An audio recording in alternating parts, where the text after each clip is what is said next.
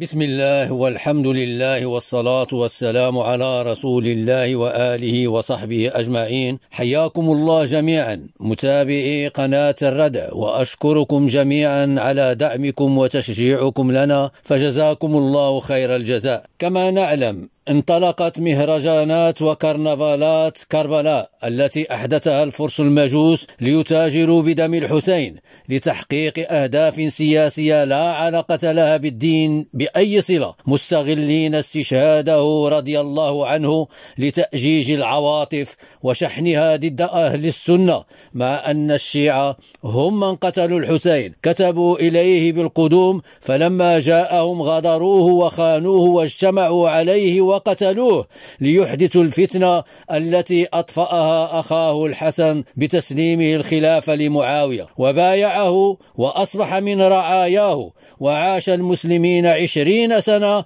في أمن وأمان وازدهار وتقدم في شتى المجالات ووصل الإسلام خلال هذه العشرين سنة إلى أرجاء الدنيا. وهذا بطبيعة الحال لا يرضي أعداء الإسلام المتربصين بالإسلام لهدمه من الداخل. على كل هذا ليس موضوعنا في هذه الحلقة. قلت انطلق كرنفال كرنفال كرنفال كربلاء للمتاجرة السياسية بدم الحسين الشهيد. لنستمع للخميني وهو يقول أن دم الحسين للمتاجرة السياسية ولا علاقة بالدين وشعائر الله. وبعدها ندخل في موضوع الحلقة. هذا كتاب صحيفة الإمام تراث الإمام الخميني الجزء السادس عشر.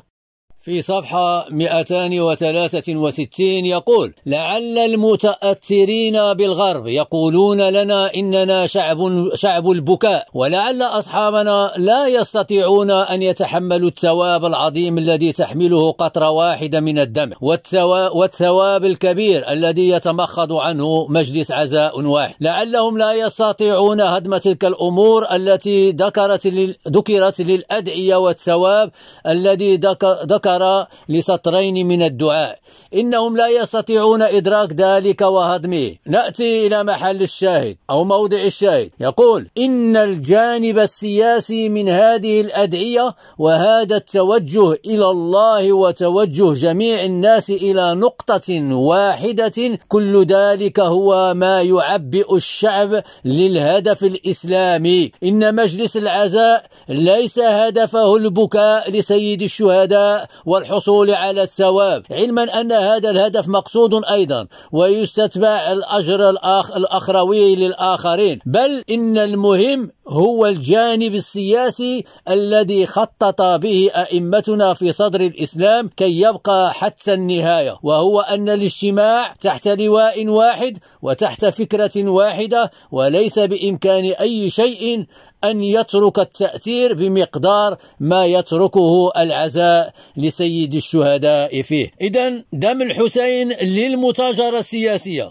ونفاق سياسي باستعمال محبة أهل البيت للمتاجرة بدمهم وتأجيج العواطف لشق صف المسلمين. هكذا نرى أن الشيعة قتلوا الحسين وبكوا عليه ومشوا في جنازته ويطالبون بدمه هل هناك نفاق أكبر من هذا؟ وما دمنا في هذا الموضوع؟ هل تعلمون يا أحبة ماذا حصل في عام 2002 للميلاد من المصادفات العجيبة التي حصلت للشيعة في إيران؟ أن صادف عيد النوروز أو عيد النيروز أربعينية الحسين فكانوا أمام خيار صعب. هل سيحتفلون؟ بعيد النيروز ويفرحون أم يحيون أربعينية الحسين بالحزن والبكاء؟ فرغم دعوة بعض المعممين وعلى رأسهم الخامنئي بإبداء بعض الحزن في هذا اليوم رأينا الإيرانيين يقيمون الاحتفالات الصاخبة بمناسبة بداية العام الفارسي الجديد بإشعال النيران والقفز فوقها وإطلاق الألعاب النارية في طقوس احتفالية يتوارثها الإيرانيون منذ عهد ما قبل الإسلام وتعقب وتعقب تلك الاحتفالات مآدب أكل وزيارة الأقارب وتبادل الهدايا ونسوا الحسين ونسوا الحسين ونسوا زيارة الأربعين فقدموا عيدهم المجوسي فضلوا الرقص والتطبيل لتعلموا يا أحبة أن دم الحسين للمتاجرة السياسية ولا علاقة بالدين ففور أن وضعتهم الصدفة أمام أهل البيت أو أعيادهم المجوسية فضلوا أعيادهم الوطنية. بل يا أحبة ربما لاحظتم في السنين الأخيرة في ذكرى استشهاد الحسين بدأت طقوسهم في الحزن والبكاء تجنح إلى مآدب أكل ورقص ولعب وترفيه ودعارة هكذا حتى إذا صادفت يوما ما هذه الذكرى مع ذكرى مجوسية أو عيد مجوسي تمر مرور الكرام دون إثارة انتباه وليس كما حصل لهم عام 2002 وكانت فاضحة للشيعة لشيعة آل بيت كسرى آل بيت سنان. أي آل بيت ساسان عفوا. ونعود الآن لموضوعنا كرنفال كربلاء. وما اختلقوه من أساطير حول مقتل الحسين. مزيدا في المظلومية. مثلا يقولون أن الحسين مات عطشانا. وبإذن الله سنبين من كتبهم أن الحسين لم يمت عطشانا وحتى لو سلمنا جدلا أنه مات عطشانا فالشيعة الذين قتلوه هم من منعوا عنه الماء وهذا سيتبين من خلال ما سنعرضه في هذه الحلقة وأرجو منكم متابعتها إلى النهاية. يا أهل قتل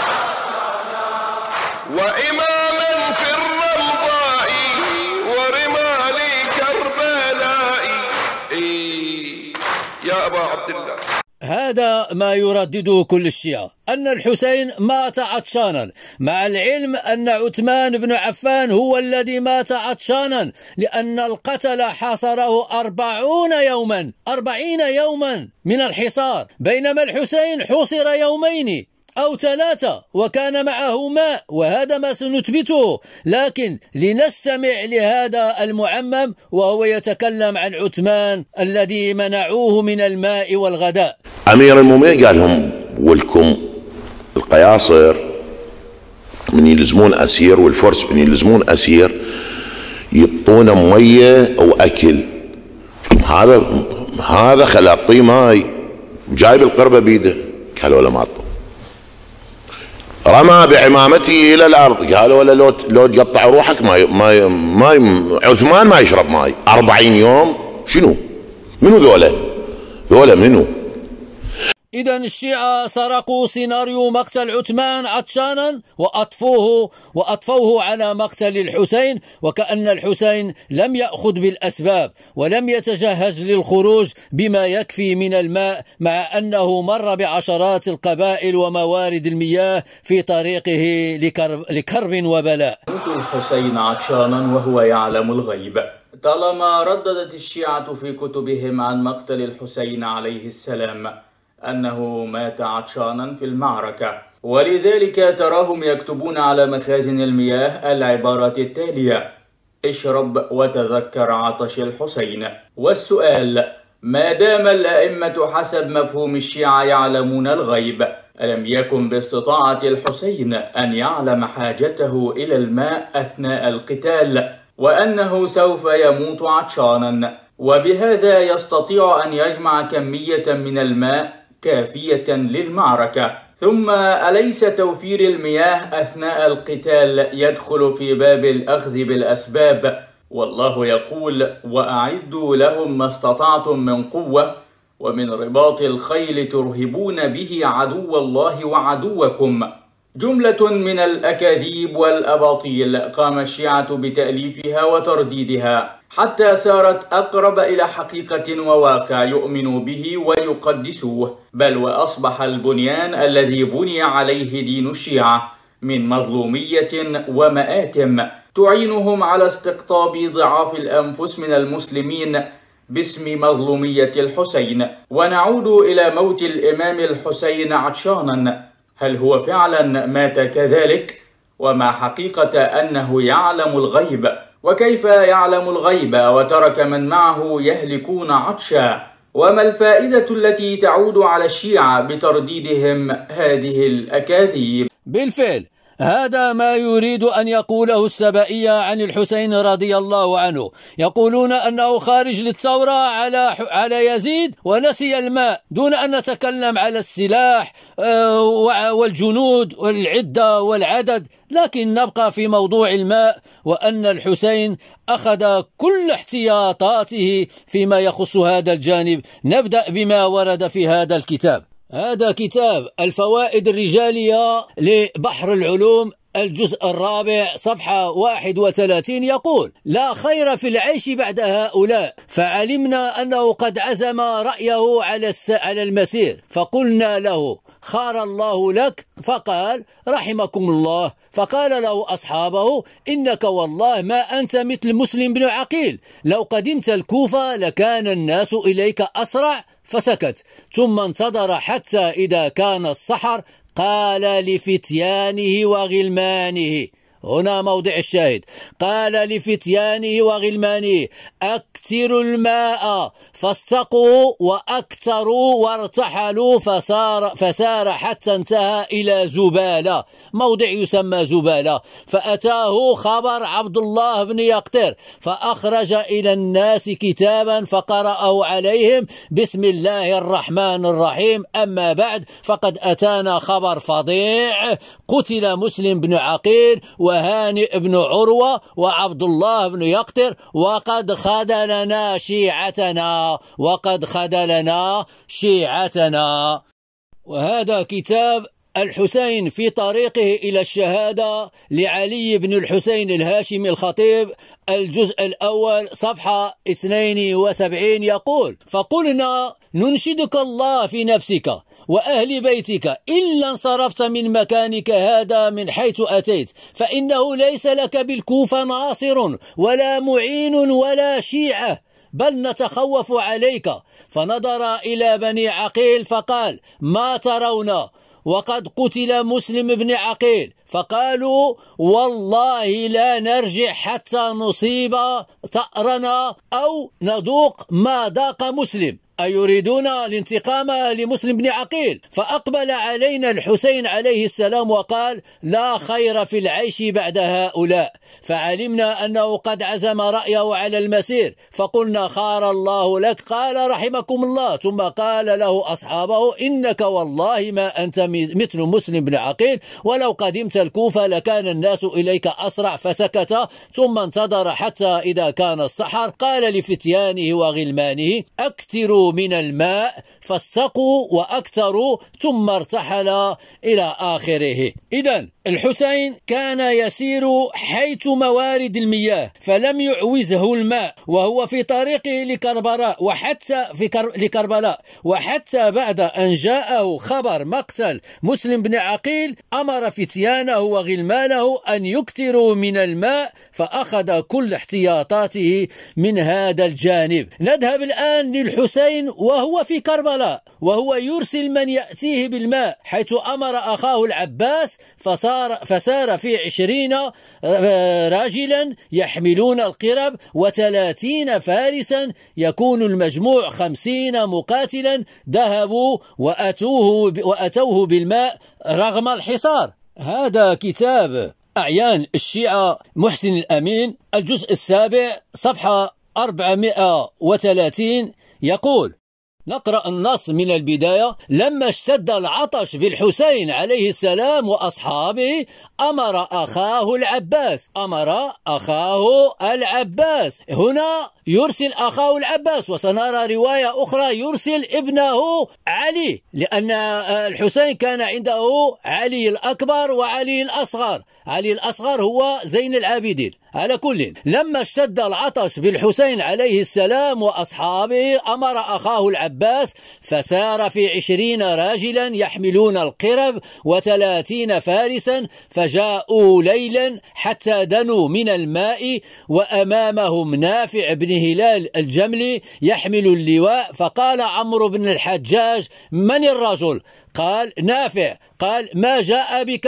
قال جئنا نشرب من هذا الماء الذي حلأتمون عنه أي حلتم بيننا وبينه أي منعتمون عنه. قال فاشرب فاشرب هنيئا لك فاشرب هنيئا. قال لا والله لا أشرب منه قطرة والحسين عطشان هو وأصحابه. فقالوا لا سبيل إلى سقي هؤلاء إنما, وضع إنما وضعنا في هذا المكان لمنعهم الماء. فقال نافع لرجاله املأوا قربكم فملأوها. وسار إليهم عمرو بن الحجاج وأصحابه. وسار إليهم عمرو بن الحجاج وأصحابه. تذكروا معي يا أحبة هذا الاسم عمرو بن الحجاج. فحمل عليهم العباس ونافع بن هلال فكشفوهم وأقبلوا بالماء ثم عاد عمرو بن الحجاج وأصحابه وأرادوا أن يقطعوا عليهم الطريق فقاتلهم العباس وأصحابه حتى ردوهم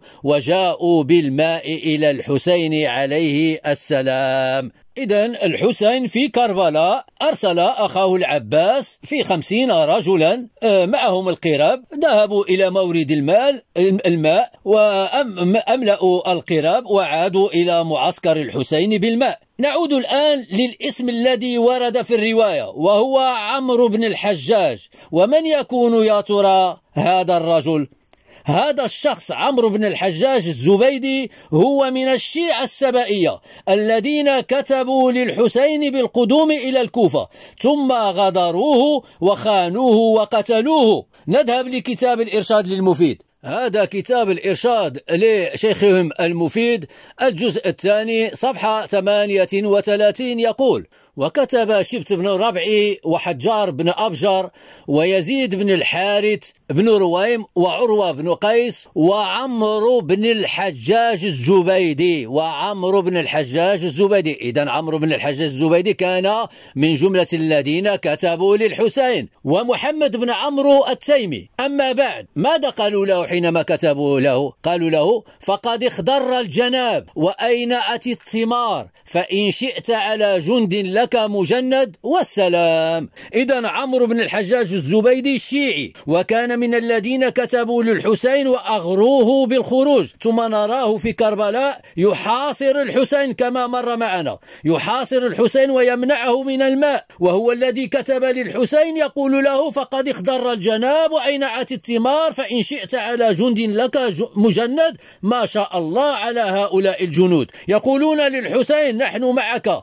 جند لك وفي كربلاء كانوا ضده. هكذا هم الشيعة. سيوف خشبية. لم يعرف علي رضي الله عنه والحسن رضي الله عنه والحسين رضي الله عنه أجبن منهم. ونحن نعلم ماذا قال علي فيهم وماذا قال الحسن فيهم حتى سلم الخلافة لمعاوية. وماذا قال الحسين لهم أيضا في كربلاء أثناء المعركة. شيعة جبناء ثم نراهم اليوم يجرحون رؤوسهم وسيارة الإسعاف وراءهم. منافقين. إذا عمرو بن الحجاج كما سبق كان على رأس خمسمائة من أصحابه في كربلاء ضد الحسين. في نفس الكتاب الإرشاد للمفيد الجزء الثاني صفحة 86 يقول وورد كتاب ابن زياد في الأثر إلى عمرو بن سعد أن حل أن حل أو حل بين الحسين وأصحابه وبين الماء فلا يذوق منه قطرة كما صنع أو كما صنع بالتقي الزكي عثمان بن عفان فبعث عمرو بن سعد في الوقت عمرو بن الحجاج. إذا عمرو بن سعد أرسل عمرو بن الحجاج ليمنع الحسين من الماء. فبعث عمرو بن سعد في الوقت عمرو بن الحجاج في خمسمائة فارس فنزلوا على الشريعة وحالوا وحالوا بين الحسين وأصحابه وبين الماء أن يسقوا منه قطرة فهذا دليل من عشرات الأدلة على أن الشيعة كتبوا للحسين وجاءوا به لكربلاء وحاصروه ومنعوه من الماء وبعدها قتلوه. ثم يدندنون حول الحسين وعطش الحسين. منافقين ونستمر في أدلتنا على القوم أن الحسين لم يمت عطشانا رغم أن شيعته أرادوه أن يموت عطشانا. رأينا أن الحسين كان يأخذ احتياطاته ويوفر لنفسه ولمن معه ما يكفي من الماء منذ أن كان في الطريق إلى كرب وبلاء. ورأينا أنه في كربلاء أرسل أخاه العباس في خمسين رجلا ملأوا القرب وأتوه بالماء. الآن نذهب لليلة الأخيرة للحسين ومن معه في كربلاء لنرى كذب تجار دم الحسين. وسنعرض دليل يبين كذب السبائية أن الحسين مات عطشانا. هذا كتاب الأمالي للشيخ الصدوق صفحة 221 يقول وأرسل عليا ابنه عليه السلام. أي الحسين أرسل ابنه عليا الأكبر لأن كانوا له آه، ولدين يسميان علي باسم علي. علي الأكبر وعلي الأصغر الذي هو زين بن العابدين الذي يقولون أن أمه هي شهر بانو الفارسية. على كل. وأرسل عليا ابنه عليه السلام في ثلاثين فارسا وعشرين راجلا ليسقوا الماء. إذا سبق معنا أن الحسين أرسل أخاه العباس وهنا يرسل ابنه علي ليأتيه بالماء إلى أن يقول ثم قال لأصحابه هنا موضع الشاهد. قوموا فاشربوا من الماء يكن آخر زادكم. قوموا فاشربوا من الماء يكن آخر زادكم. وتوضأوا لم يقل لهم وتيمموا لندرة المياه. لا قال لهم وتوضأوا. هل هذا فقط لا؟ واغتسلوا. هل هذا فقط لا؟ واغسلوا ثيابكم لتكون أكفانكم. ثم صلى بهم الفجر وعبأهم تعبئة الحرب. ما شاء الله. إذا الحسين أمر أصحابه أن يشربوا الماء ليكون آخر زادهم لأنهم سيصومون. العاشر من محرم ولم يشربوا الماء فقط بل قال لهم توضأوا ولم يقل لهم تيمموا لانعدام الماء بل شربوا وتوضأوا. وهل توضأوا فقط؟ لا بل اغتسلوا. وهل اغتسلوا فقط؟ لا بل غسلوا ثيابهم لتكون أكفانهم. بالله عليكم كم يلزم من الماء لكل هذا؟ هل هذا دليل أن الحسين مات عطشانا؟ ونحن نراهم يشربون ويتوضؤون ويغتسلون ويغسلون ثيابهم. إذا الماء كان عندهم بوفرة كبيرة وادعاء العطش كذبة صلعاء كذبة مفضوحة. فكيف يعقل من عنده هذه الكمية الوفيرة من الماء؟ يموت عطشا. كيف؟ ونذهب إلى آخر دليل لأننا أطلنا. الآن الحسين خلال المعركة وقد بدأت الحرب. هل عطش ولم يجد ماء؟ أولا هو كان صائما. هو وأصحابه رأيناهم يشربون الماء قبل الفجر ليكون آخر زادهم ولكن فقط لنثبت أنه خلال المعركة كان معه ماء في آخر لحظاته. كان عنده ماء وصبه على وجه أخته زينب. هذا كتاب العوالم. الإمام الحسين عليه السلام للشيخ عبد الله البحراني صفحة 246 وهذه الرواية التي سنقرأها توجد أيضا في كتاب الإرشاد للمفيد. يقول ثم لطمت وجهها. أي يتكلم عن زينب. زينب لطمت وجهها. ثم لطمت وجهها وهوت إلى جيبها وشقته وخرت مغشيا عليها. وهذا في المعركة. فقام إليها الحسين عليه السلام فصب على وجهها الماء. فصب على وجهها الماء. سبحان الله. الحسين يجد ماء يصبه على وجه أخته ولا يجد ماء يشربه على كل.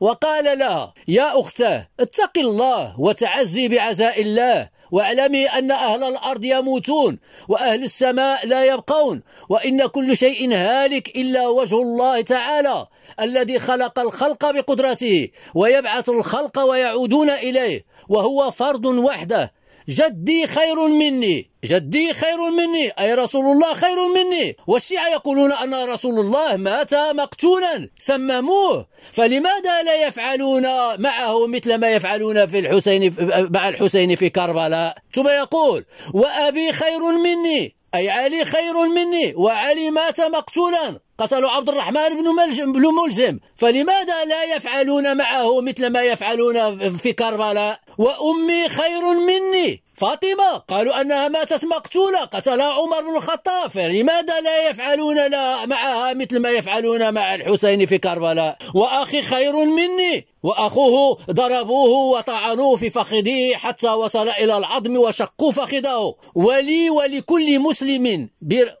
مسلم برسول الله صلى الله عليه وسلم أسوة.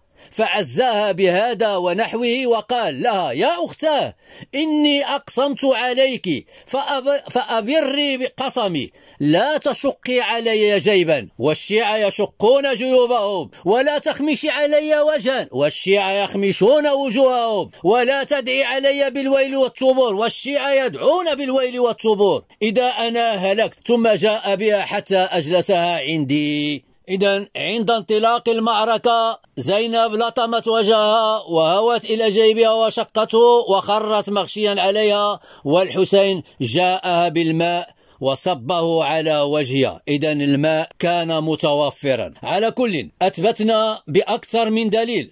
أن الحسين لم يمت عطشانا. وهنا أقول للسبائية ما قاله ناصر الدين الألباني رحمه الله. طالب الحق يكفيه دليل وصاحب الهوى لا يكفيه ألف دليل. الجاهل يعلم وصاحب الهوى ليس لنا عليه سبيل. سبحانك اللهم وبحمدك أشهد أن لا إله إلا أنت أستغفرك وأتوب إليك. والسلام عليكم ورحمة الله تعالى وبركاته.